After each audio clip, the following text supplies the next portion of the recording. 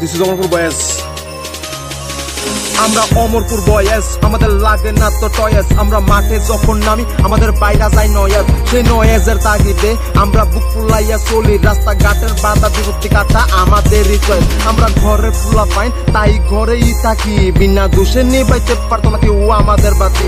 মা, বাবা, ভাই, বোন, সবই আমাদের সাথী। তাই মাতৃগর্ভ থেকেই আমাদের ছাপ্পান্ন ইঞ্চি সাথী প্রথম ভালোবাসা শিখে কইসস থাকবি জীবন ভর নতুন ভালোবাসা পাইয়া আমায় কইরা দিছস তুই কি ভাবছিস তোদেরকে সারা?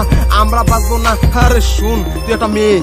অক্সিজেন না। কিছু ছেলেদের জন্য মেয়েরা হয় পথভ্রষ্ট। স্কুলে গিয়ে তারা ভালোবাসায় হয়ে উঠে শ্রেষ্ঠ। সে ভালোবাসায় পরে করোনা দেহটা নষ্ট। কারণ এটা তোমার মায়ের দশ মাসের কষ্ট ভাবতে অবাক লাগে দেশটা এত সারা খারা। মানুষের মাঝে আছে দুনিয়াটা দিশে হারা। নিজেরাই নিজের আরে ধ্বংস।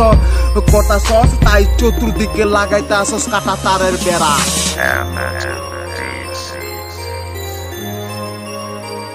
এখন একটা টপিক নিয়ে বলব। মনোযোগ দিয়ে শোনো ওকে মাটির তৈরি মায়ের মূর্তি, দশ কেজি সোনা দানা। রক্তে মাংসে গড়া বাপমা, দু মুটু অন্ন পায় না। মাথার গাম পায়ে ফেলে বড় করল তিলে তিলে। তোদের জন্য বিদ্যা আশ্রম, তাদের আজ শেষ ঠিকানা। এই কেমন বিচার তোদের, এই কেমন আশা দেশ দুনিয়াটা হাতে বাড়তাছে। আছে সবাই।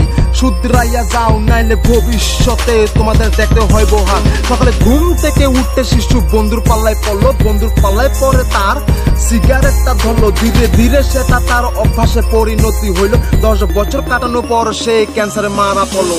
পাঁচ ফুট শরীরে বারো ফুট শাড়ি তবু অঙ্গ ঢাকিতে পারে না কিছু কিছু নারী। এসব নারীগুলি ভবিষ্যতে কই দিব পারি? তাই আসক্তিতে চেষ্টার উপর পর্ব অনেক ভারী। কিছু জিনিস কাটে ধারে, কিছু জিনিস কাটে ভারে। এসব কথাগুলি আমি বুঝামু বলে কারে। যারা বুঝছস তারা কইয়া থাকবি সারা জীবন ধরে। অবুজগুলিরে ইডাল দিয়ে পাল্লা নদীর ওই পারে।